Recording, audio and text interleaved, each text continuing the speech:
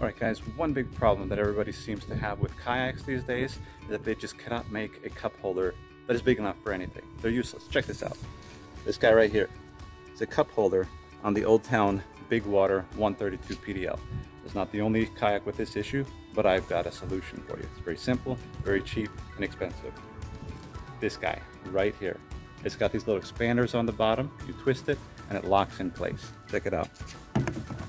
Pop it right inside the cup holder. You turn it so it's nice and tight. It's not gonna move, not gonna go anywhere. And now, boom. You've got your cup holder handle. It's not turning, it's not falling out. Little salt Saltstrong plug there. Shake the whole kayak with it, no problem. Check it out in the affiliate link below. Simple fix. Tight lines, be blessed.